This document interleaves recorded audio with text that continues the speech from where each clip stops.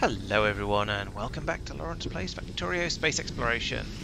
I've got a few things to talk about today, but the first one of those is that my um, coron next coronal mass ejection is uh, looming rather close at the moment. It's about a minute away. So let's have a quick look around and see, well, see if we can guess, what, see if we can tell whether I'm prepared for it or not. That's going to be the first thing to worry about. So down here, We've got my steam tanks, as I was talking about in a previous episode. There's 1.7 million steam in those, so that's good. That's more than I... I think it's... I think it's more than I need. Um, I can't remember. I, I, need to look the numbers up again. Then I've got all of my turbines here on both sides of the um, of the of the uh, nuclear reactor system. I haven't got around to building any more turbines going up off the top or the bottom of here yet, which may be my downfall, but we're going to have to see how that goes. If this does, if I don't survive this one, then that's going to be um, what I do next time. We've got the huge banks of um, accumulators. There's some over here. There's oh, I still haven't got all of the. Um, I haven't got time to go down and do anything about that now. I still haven't got all of the power poles in place to get all of these um, linked up and on the on the on the system, which is a bit of a shame. Um, this has kind of snuck up on me. I know it was several hours away last time I was playing, and I just sort of forgot about it and was getting on with other things instead, which is a terrible way to uh, a terrible way to go. But we're going to have to see how it goes. So let's see. Where's my umbrella defense? It's around here somewhere. There it is. Okay, let's have that up and so we can see it. And we've got this up as well. This is my power requirements. There we go. It's just kicked in. There's the power spiking up wildly. My production is going up to match. That's good. Um, accumulator charge hasn't been touched yet. That's a very good sign. But this is still going up and it's going up. Well it's going to peak in a second. There we go. That's peaked now so now we're starting to pull energy out of the accumulators as well. So you can see over here, this orange line is the power that's being produced by the accumulators going up and up as well. So that is still, let's zoom out a little bit.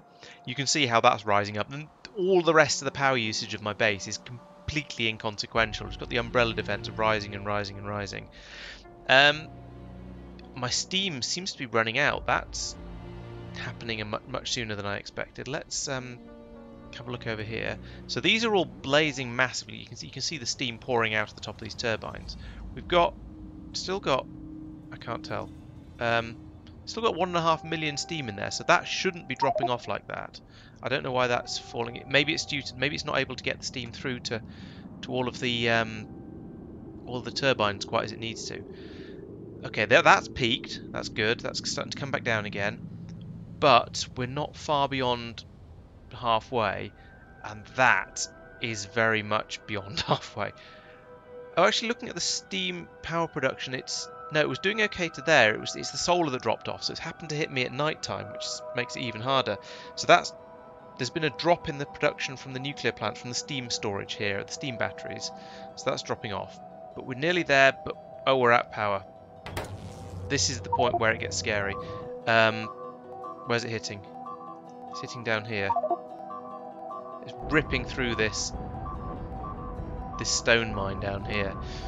Oh, I was so close as well. You saw the um, and is, it, is that it? Has it gone? I think it's gone. How much steam's left? How much steam is left? Was that just a um, a distribution problem? Um, where are we? Here we are. 1.2 million steam. So yeah, it got through like a third of my, less than a third of my steam, but I just couldn't get the steam where it was needed. So we got that massive destruction down here, and it's yeah, it's ripped through the top part of this stone mine horrifically. That's yeah, I, am going to need to go and fix that up again. Um, well, actually, I don't need to because there's another big stone mine here. There's loads of stone available in the bay. But okay, that's to be honest, that's disappointing. Let's have another look at the, um, at the power readouts for the last 10 minutes. So you've got this massive spike here from the um, from from the umbrella defense, and then here you can see is it visible on the one minute one? No, it's not. The 10 minute one you'll have a look at. About here, you can see suddenly this, it drops and then goes flat. That's about the point where the, the, the accumulators ran out of power. So the steam was capable of producing this much power, I suspect. So there's only that little area inside that triangle, that was so close. If I'd remembered either to put in the rest of these power poles down here, so these had all been fully charged, or if I come along here and put in some more turbines up and down here so I could have had a bit more power coming out of the turbines, I'd probably have made that. That was really, really close. Oh, gutted. yeah, I'm actually quite disappointed that that didn't didn't quite cover the um, cover the the coronal mass ejection. I think it's because it was because it was so close. If it had been miles out and I'd just not been able, and not been able to cope at all, then sure that'd have been that would have been just poor preparation. But it was it was so close that it's just disappointing. Right, let's put a um, rocket pod back in there like that. So one of the I've, I've been thinking about been thinking about what I want to do next, but before I talk about that, there's a couple of other things I want to touch on briefly. So I had some some comments on the videos, which is always nice to hear. I, I like hearing from um, from people who've been watching the videos, and uh, just because sometimes sometimes it, it makes me think of things I just simply not thought of, like better ways of doing things, like pointing out that you can use um, vulcanite in, in smelting, and it's apparently much more efficient. Let's have a quick look at that. Um, let's have a look at iron plates, because that's that's iron ore. Let's look at iron plates, because that's something I get through a lot of. Now, there's a traditional way. One iron ore makes one iron plate. There's the vulcanite way, where 8 iron ore and a vulcanite block makes 12 iron plates, so you get an extra 50% free in exchange for the vulcanite. I mean, that's not to be sneezed at. That's a, a reasonably significant amount of um, extra extra um, metals. You do need to then use either the industrial furnace or the thermodynamics facility. So it's there's there's a little bit more to it, and it takes six seconds instead of what am I using at the moment? These things 1.6, um, but you get so much more out. That's so it's faster as well. So that's quite good, but you've got the extra complication of having to feed in the vulcanite as well and and producing the vulcanite. Now I'm not short of vulcanite at the moment but I'm also definitely not short of iron ore. Um, I've got a station here, I've got a station here, they've got... Actually, that's gone down really quickly. maybe I shouldn't be quite so cocky about it, and maybe I should be making it from something else. And that one's dead. Okay. Um, I may have to just um, eat my words there and make make some new iron mines. There's a nice big one there, and maybe consider going in, ripping all of this out and replacing it with something that um, that, that includes vulcanite. Um, that might be sensible. We'll have a think about that because I hadn't I hadn't realised I'd ripped through these two iron patches quite so quickly. That's slightly terrifying. Um, yeah, so I might be going to do that. Because um, on the flip side, though, I mean, then people have also been saying that they've been making, they've been using, they've not been using, they've not been wasting the vulcanite on rocket fuel, which is what I'm doing here. I'm turning, basically, I'm using vulcanite for rocket fuel and nothing else. The alternative it sounds like that some people are doing is the exact opposite of that, where they're going, I'm not wasting vulcanite and rocket fuel, it's far too valuable for smelting. So, I mean, maybe there's something in that. Uh, the, the, flip side is, if you want to, you've got to make the rocket fuel from something, and the other way to do it, rather than making it from um, from vulcanite, is to make it from solid fuel and light oil. So you put in basically, I think is it yeah, 20 light oil um, makes one rocket fuel. Now the thing is, um, one of the comments I got was saying, well, if you go, if you if you get one of your um, oil oil mines like this one, you could just go in there, fill it fill it full of um, fill it full of speed modules, and pack it up, pack it solidly full of um, beacons. There we go. Yes, so so you go in there, fill it up with speed modules, fill it up with bacon, and it should, should go and and that way, even when they get to the point of your oil mine basically being run, having run out, they'll still be pulling out enough for it to be worthwhile, and you can turn all of that into rocket fuel. Um, that might be worthwhile. I've, as you can see by the fact there aren't any beacons in here, I've sort of not bothered with the whole going in and using the rocket fuel as hard as possible, and instead I tend to just go over for the um, the coal liquefaction route, uh, which is down. Where is my? Is it this one? Yes, here we go. So the coal liquefaction route here. So what we're doing here is we're pumping in massive quantities of coal from whatever coal mine is active at the time, and then we're just up here we're turning it, turning the coal into the three types of oil. So that works too. Um, it, the, the the advantage of the the going the um, the oil mine route is you don't have to worry about them running out because eventually an oil mine will get to its minimum yield and it will just continue dribbling it out slowly at that speed. But if you fill it up with modules, that speed actually isn't so bad. Um, coal mining, on the other hand, you do eventually use up the patches. So here we've got we've got two million left in this one. It's it's stopped, so we're obviously not getting through it too quickly. But it is a concern that you do have to go out find new coal patches. So there's one there, there's another one there. There's quite a lot of it around, but you have to go out and build the mines up, which is, is time consuming and it's an extra thing to do. Eventually you have to push out and clear out more biters and get more of it, or start delivering it from another planet, and my Nauvis base gets through so much of everything that I don't really want to start shipping bulk ingredients back in here, because it's just going to take too long. It's just not going to be practical. So, I don't know, have I talked myself into it? I'm not quite sure. I'm, I'm going to carry on with coal liquefaction for a little while, certainly in some specialist places, but I might look into into bunging loads of modules into these these areas as well. I mean, modules aren't too expensive. Um, I think for the for the relatively straightforward ones, the vanilla ones, um, getting up to speed module three, it's just lots of circuits really. Um, that wasn't what I meant to click. It's just lots of circuits. So you get red and green to make the base the, the Mark ones. You, you you use red and blue and ones to make the twos, and so on up up the up the chain. You add some batteries in for the threes. Oh, and then you need iridium and machine learning data and so on. But you need a lot more for, for the fours, but um, but I probably don't need to really use those.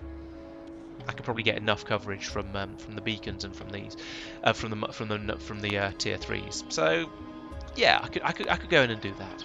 So that's something I'm I'm definitely going to have, have a think about because it's at the moment, I don't have a shortage of vulcanite, so I might just, I think I'll probably just carry on using it for rocket fuel. But if I can reduce my reliance on coal, because I do have, I do still have the um, the oil smelt, uh, the oil smelting, the oil um, cracking facilities running here, and I'm bringing oil in and, and using it. So it, yeah, it's probably it's worth having. And I could always whack in a um, a pump and a quarry somewhere along here just to make sure I don't use these if there's if there's oil-based stuff available. Where's this fed down? Am I doing that already? I can't remember. It's been so long since I've played with any of this. Um, no, I'm just letting it come in from wherever. Okay, so I could put in a pump in the middle of it, somewhere on this on this um, pipe that's running down here, saying that if if there's plenty of plenty of um, petroleum gas, which there is at the moment down here, then don't bother to make it from coal. Make it from oil by preference. Then, if the oil runs out, we'll still make it from coal. I've got the backup, but it's it gives me it gives me the options. So yeah, that could work quite well. Okay, so that's that's sort of feedback number one, and yeah, there's definitely some things to think about there. Number two, somebody asked me something that I've I've touched on before, and I'm not really sure whether I, and I hadn't really done the maths for it. So having this this query made me sort of think, yeah, I should actually I should actually work this out.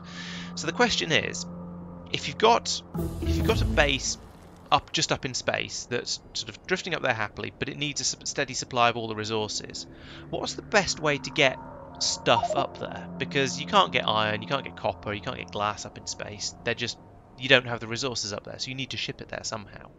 And there are two ways to do it, at least at this stage of the game. There are two ways to do it that I'm aware of.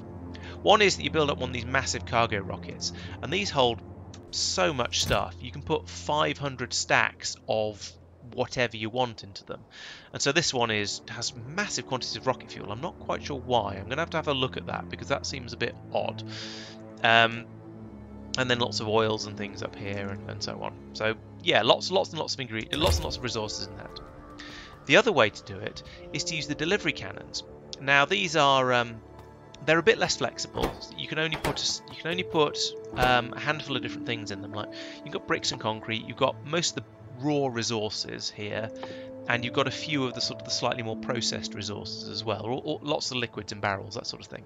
So you can you can use the um, you can use the delivery cannons to get stuff up into orbit, or, or even to other planets as well, and it, and it, that works it works very well. You've you've seen my um, how that's working for me on all in all the different places. At the moment, I've um, I've been doing a bit of expanding here. I've got all of I've got one, two, three, four, five, I think, all of these shooting at the uh, space station Uh, this one's shooting at Frost. This one's probably shooting at the space station, and this one's going to be shooting at um, at Myokin once I get it all set up properly. So I, I decided after the last episode, I'm going to ship the ice here and then ship it on from here to wherever I want it to go, because that way I don't have to go out to Myokin and, and fiddle with stuff. And I consider the delivery cannons to be quite cheap. That comes on to what I've been considering. So I looked at the prices for all of this stuff and to make a rocket, the, the most expensive part of it, is, um, by a long way, is the um, is these things, the cargo rocket sections. You need a hundred of those to make a rocket, um, and they take quite a lot of ingredients to make each one. As you can see here, there's there's there's bricks, there's plates, there's plastics, there's and so on and so on that go into each one of these. And you can see these along the bottom of the um, of the thing as well. I, I use the raw ingredients thing in the um, in the game itself to, to, to, find out what they what they actually take because I couldn't be bothered to run through everything. Now a few of these are of course processed things. So the steel plates are made from iron. They're they are they're, it's literal. So each each steel is worth is literally worth five iron, is six iron? I think it's five. Um, yeah, five iron. So you've got the um, yeah, so some of this, there's a little bit of overlap in some of the things here, but I, I didn't really want to go in and tease out exactly what makes what. Uh, the blue circuits, again, there's a load of copper, there's a load of iron, there's some bricks, uh, there's some sulfur because you've got the acid in there as well. So there's a bit more extra stuff in there from the uh, from, from the um, from the blue circuits. The batteries as well, they contain a certain amount of sulfur in the sulfuric acid and some more iron and copper as well, I think, off the top of my head. So um, but I didn't actually to make to make this sort of the the actual comparison. I didn't really need to go in and tease out the exact details of this. So that's one rocket section. As I said, it takes a hundred of those to make a full rocket, so you get some some quite big numbers out of that. And you also need the um, the the, the uh, rocket um, what's it called cargo pod space capsule. There we go, this thing. Uh, and there's quite a lot of stuff in that as well. Um, I mean, does any of this make a difference? I mean, it adds an extra thousand onto the onto the onto the bricks. Oh, it adds a lot onto the glass. Actually, there's a lot more glass in there. The iron is fairly inconsequential. The copper is is a, is a fairly big jump as well. So, oh, and 100, 100 blue circuits as well. So that's yeah, that's that's a big jump as well. So as you can see, there's there's a lot of extra stuff required there. Um, and also you require a certain amount of rocket fuel. Exactly how much rocket fuel you require depends on where you want the rocket to go to. So I've just put it in a sum, you know, who cares. Um, and then because a rocket but then on the flip side a rocket is massive as i said you can fit 500 stacks of, of stuff in it so yes it takes an incredible amount of resources to make it but once you've built it you can send huge amounts of stuff up into space and all in one go. You don't need to faff around with sort of firing delivery capsule after capsule after capsule. So the fairest way to compare these things, I think, is going to be to do it on a per stack basis. So I've divided all of the um, the rocket quantities by 500. Uh, I've rounded them a little bit, but they're they're they're they're, they're close enough. They're to, to, within one, and that's um, so that's given me a, a pretty good idea of what it costs to send a stack of something up into up off to to wherever by by rocket. Um, I hadn't when I drew this this table up. I admit I hadn't actually looked at the um, at the, at the capsule, and I hadn't realised quite how expensive those are. So some of those numbers should be a little bit higher, but they're, they're, they're close enough. I then went in and had a look at the delivery cannon capsule costs. Now these are much much simpler. They um, and they're much cheaper, but then you can only get one stack into them. However, if you look at the actual numbers we get from this, I think every single number it I was going to say every single number except sulfur, but when you consider the uh, the blue circuits and the batteries, that might actually bump the sulfur up to. Well, the six may go up to um, up to 30, maybe may go up to 13. I'm I'm not sure. I haven't done the maths, but sulfur is not too difficult to get hold of, so I think I'm um, I'm not gonna I'm not gonna split hairs there, given that everything else is so much cheaper. Especially look at copper and the iron. That's that's an incredible difference there. Um, I think I'm gonna say I'm going to call it for delivery cannon capsules. They are much, much cheaper. I'm going to stick with delivery cannons for transporting bulk produce around the, um, sorry, bulk resources around my solar system. It, it, it's, it's, just not even close. So, thank you the, for, the, for, the, for, the, suggestion. And to be honest, it is something I should have actually looked at rather than just going on gut feeling and going, "Oh, rockets look complicated. There's so many different things that go into them. Look at look at all this stuff I've got over here to make bits for them."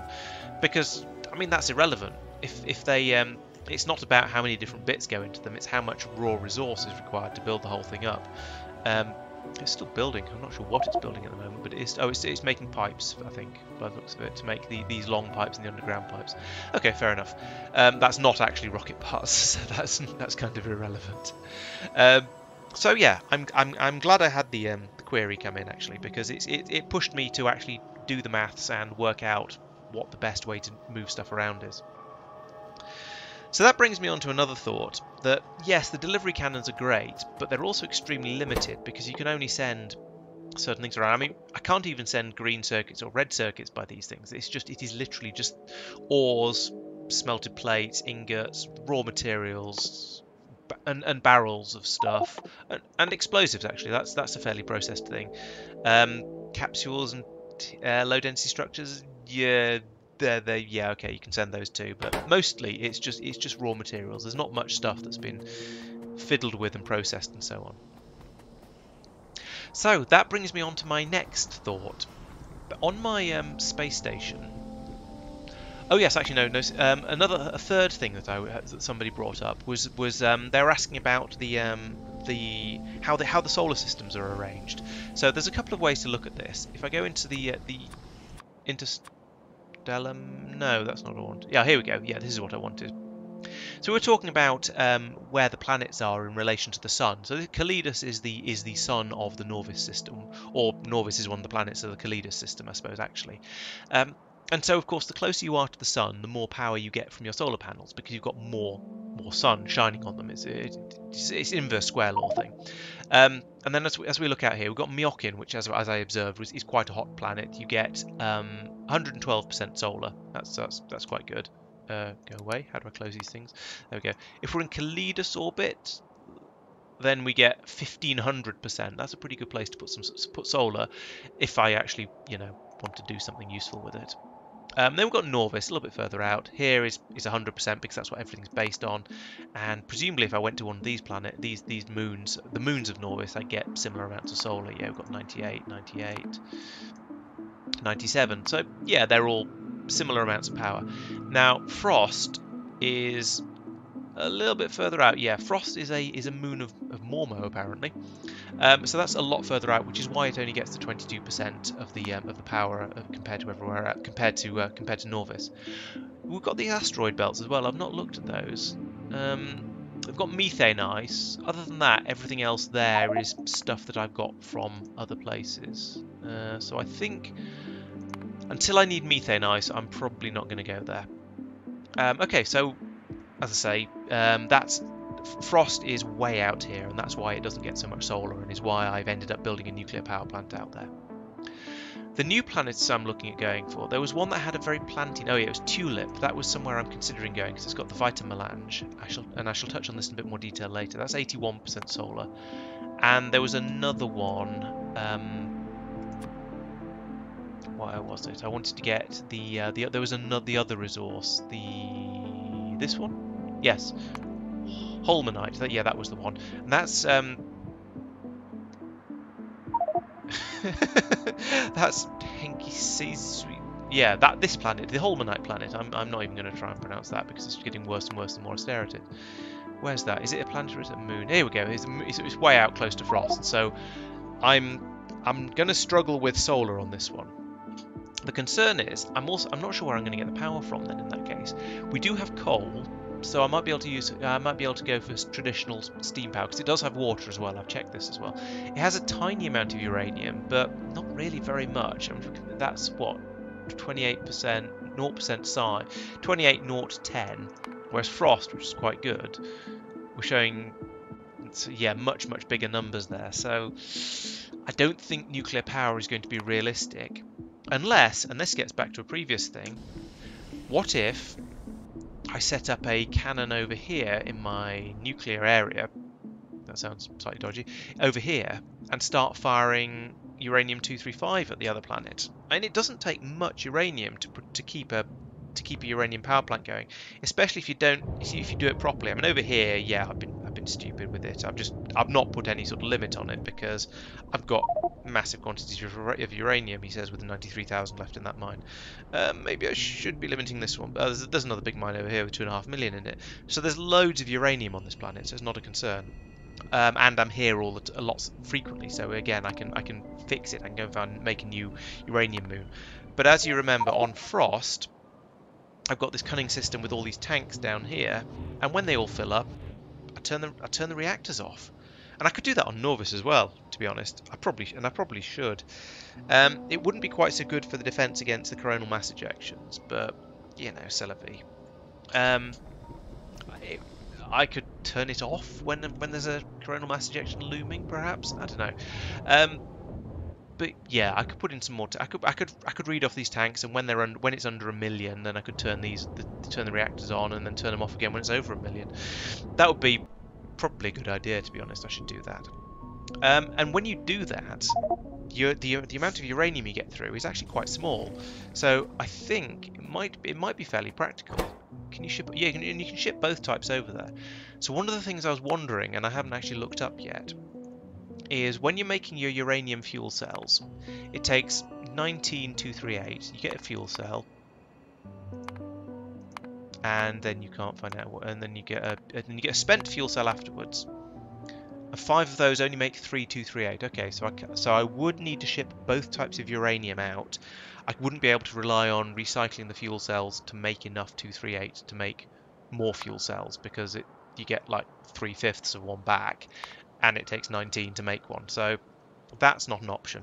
But if I ship both of them out there, that will work. So I think I might well do that because uranium, just nuclear power is, especially when you're that far from the sun, is just going to be a much, much better way to do it, I think. Okay, I've rambled quite a bit about that. I mean, this this is the the slight risk of me um, of me doing Factorio episodes after I've had had a glass of whiskey or so. um, it, it, causes me, to, it makes me a bit rambly. Uh, let me know in in the comments if this is better or worse than my normal episodes. I'd be quite I'd be quite curious to know how you feel about it. Um, and, and whether it's and whether to be honest whether the rambling is interesting, I suppose. So then we've got back up here again. I've not touched this since the last episode. I've been too busy thinking about what I want to do next but I've been I have pretty much come to a conclusion. So what I'm going to start doing is shipping coal up here by um, by delivery cannon, which I am already doing. Um, but there's enough up here, so it's not being sh shot up at the moment. And then I'm going to start doing um, the coal liquefaction up here in space, and making and making the oil up here. And I think I'm probably going to start making green and red circuits up here as well, because I've been running out of those like crazy. I mean, this this this this one here is supposed to have red circuits on that are going to be made into the into the um, the good old um, memory cards, and yeah, I, I, I, need that basically. I need I need a huge number of those because all of the sciences are going to be taking getting getting through massive well not so much getting through massive quantities of them. I'm just going to need huge quantities of them to build up the buffers on the on the belts like this, um, which is it's kind of wasteful, but I think it's the way I'm it's, it's the way I want to do this. It, it's better than having the bots trying to deliver everything over longer distances. So I'm going to uh, yeah I'm going to start shipping up shipping coal up here and then turning that into into oils and using that to make all of the the subs the the extra things. And that's pretty much going to remove the need to bring things up here in barrels, because let's have a look at the things we've got over here in barrels. We've got, okay, we've got that green one I think is probably lube, and that's made from oil, so we don't need that. Blue one is water, which we're going to start bringing up as ice. Uh, the purple one is petroleum gas, and then we've got heavy oil, both of which are going to be made from the um, from the coal liquefaction. And then we would have light oil up here as well, except we've run out of it. So that's just there, yeah. And that's but that's also made directly from the coal liquefaction. So that is going to get rid of my dependency on barrels. And as you know, barrels have been frustrating me for quite a long time now. So to get them completely out of the out of the chain of everything is going to be really it's going to be fantastic. And if we look at this rocket down here that was ready to go up, half of the stuff in it is barrels. All of this is just complete unnecessary nonsense. And I'm going to be able to make sulfur up there as well because that's coal and petroleum gas, I think. Um, let's have a look. Sulfur. Oh no, water and petroleum gas. Those are going to both be up there. So I can start making all of these things up in space rather than shipping them, shipping them up there in barrels and just having so many extra things to worry about packing into the rocket.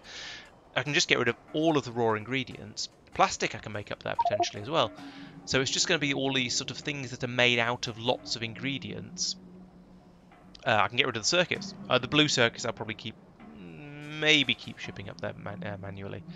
And not sure about these ones. Uh, the science packs will definitely go up, still go up by rocket though, because those those are complicated. I don't want to I don't want to redo all of that in space. But it's going to make things so much simpler just having having oil processing being done up there in space. Now the slight downside of this um, is that you have to use a different a different machine to do it. So here we go. Here's the coal liquefaction. On down here on Nauvis, I would use an oil refinery, which is um, uh, the, the standard way of doing it. But as it says, it can't be put on a space platform or in a spaceship. So I'm not going to be using that. Instead, I'm going to be using the biochemical facility, which can't be placed on land. That's the space-only version of it. Um, so I'm going to need to start making these. Now, these need to be made in space, in a space manufactory. So I can't just make a load of those and take them up with me. And they need, but they need stuff. Most of the stuff they need is already up there. So electric engine units, low density structures, and glass. That's already up there. I, am I'm, I'm taking that up by rocket because it's just, they're slightly more complicated. I may start making low density structures up there because there's nothing too difficult in there. Um, but and maybe pumps. I mean, pumps are stress. Pumps are simple, but they're just there's just so many steps required in them because of all the motor nonsense from the from the AAI mod. Um, so I'll, i may just take a load of those up with me. Uh, we'll we'll see.